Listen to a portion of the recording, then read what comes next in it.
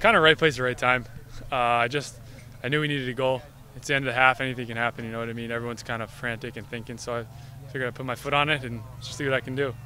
Friday we were, uh, you know, just all over the place and just scrambling around, and, and we were a bit fortunate to, to win that game. And I thought today we we went down early, fought back, and I thought we took control of the game, and, and we should have won the game.